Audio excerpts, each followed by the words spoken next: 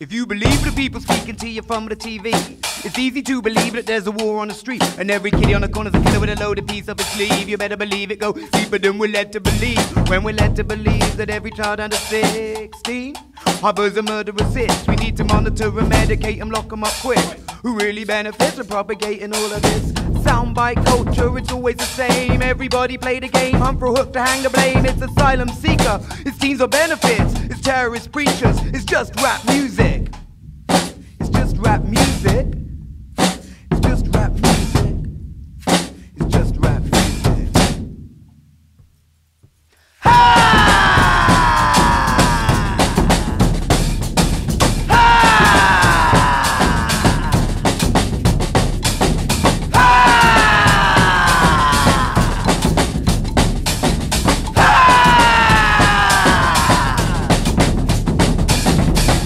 Politicians contracted for more prisoners. They cut the youth worker in the benefit system. They broke a deal across the globe for missile system while sending young boys overseas on suicide mission. Unemployment's on the rise. Drugs are rife for policy written for men and women who never stood in line in a street kitchen.